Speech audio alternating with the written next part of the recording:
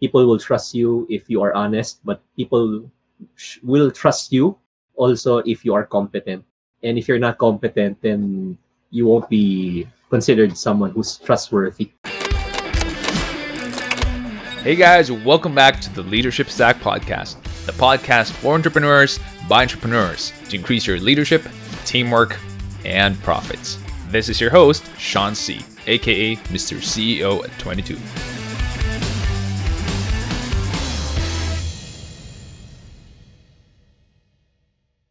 Question from Jazz Is there a best leadership personality? Or what for you is the best leadership personality? Hey, great question. Leadership is mostly about styles, and there's no one style that is better than the other style, but it depends on the situation and the context.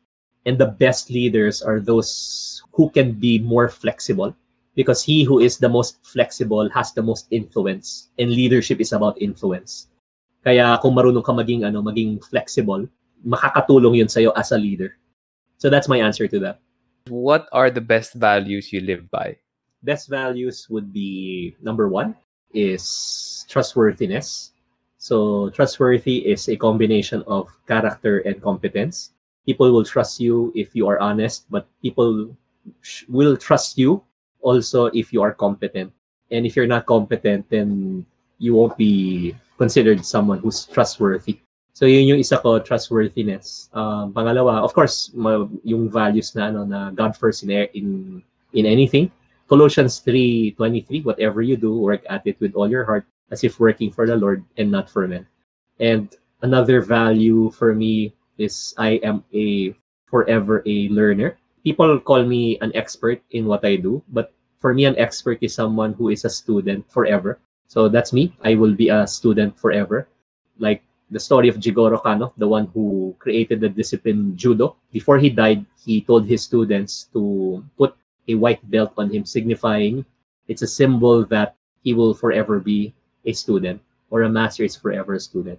So those are three things that I live by as part of my values. Kumbaga yung trustworthiness is I'll I'll be excellent in what I do and I will do my best to honor God in everything that I do. Next question for you, Jayson, is what are your top five favorite books?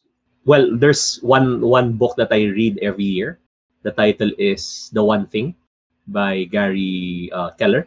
Yeah, if I'm not mistaken, Gary Keller is the name of the author. So The One Thing, I read it every year to give me better perspective.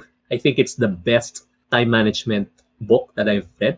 Or nga time management, eh. it's like he simplified how you can move from looking at the clock to looking at a an internal compass or using an internal compass. Um, that's one. The one thing. Another book would be well, of course, Dale Dale Carnegie's book, How to Win Friends and Influence People. They consider it as a bible of communications.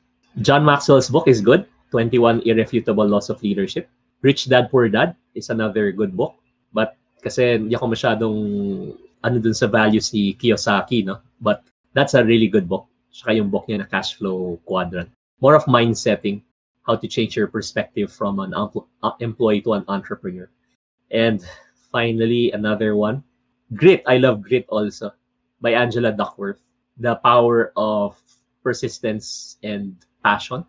It's a really good book. Great, and I've read I've read four of those except for the one thing, so I'm gonna buy it on my Kindle soon after we end this call. I should read that. You're the second guy who recommended that to me. Two of those books that Jayson just recommended, I've recommended also to past podcasts How to Win Friends and Influence People by Dale Carnegie and John Maxwell's The 21 Irrefutable Laws of Leadership. And, and all of those books, all of the four books, including Grit and Rich Dad Poor Dad, I do highly recommend that. We have the next question from Celeste.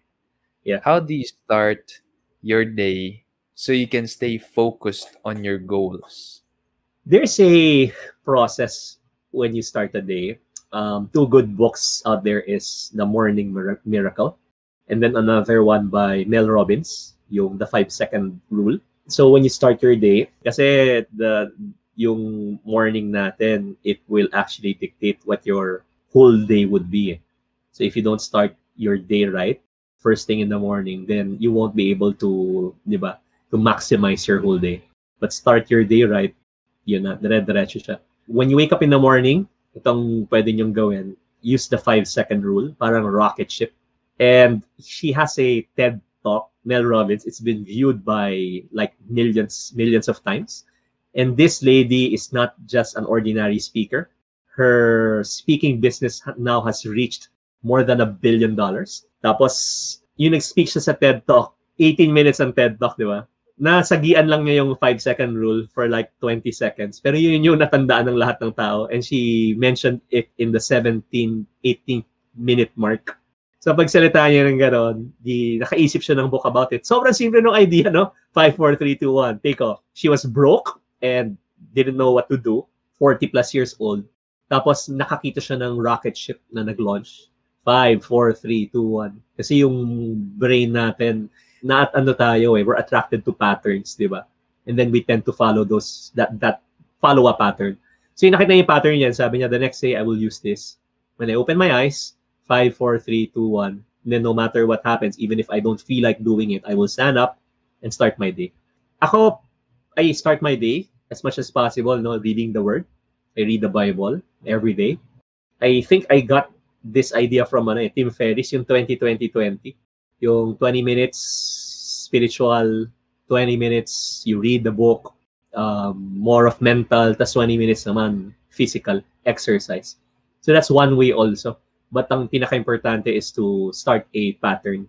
And as much as possible, don't break the chain. Si Jerry Seinfeld was interviewed. He wasn't interviewed, but this is from in, in the one thing. Yung author, uh, he shared this story. Nasa circuit pa si Jerry Seinfeld. He was one of the most popular, most successful comedians. He was earning a million dollars per episode of his Jerry Seinfeld show before he decided to retire. Pagod na siyang kumita ng pera. Tapos, di tinanong siya, what's your secret? Sabi niya, never break the chain. What's that? Sa calendar niya, meron siyang nilalagay na mark na X. X mark.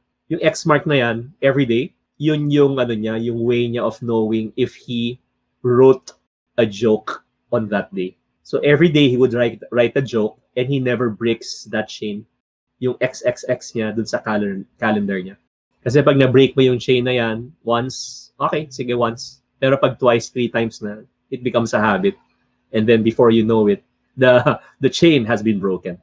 This episode is partnered up with Armoury.ph. Armoury is an online watch store and is the exclusive distributor of the brands TW Steel, D1 Milano, Fonderia, Luminox, and Mondaine in the Philippines. Yes, folks, those are Italian watch brands. If you are looking to buy your next go to luxurious everyday watch, go to armoury.ph and enter the coupon code LS30. Armoury.ph delivers straight to your doorstep with a security tape to make sure that your package is safe from theft, arrives on time, and is guaranteed working 100%. Go to armoury.ph and buy your first luxury watch today. always under promise and over deliver.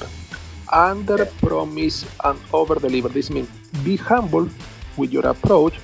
Try to show your products in a humble way. Not boasting about this, but then try to surprise in a positive way. Try to exceed their expectation because satisfying their needs is basic. This is the default stage should be. But exceeding their expectation means going beyond their expectation.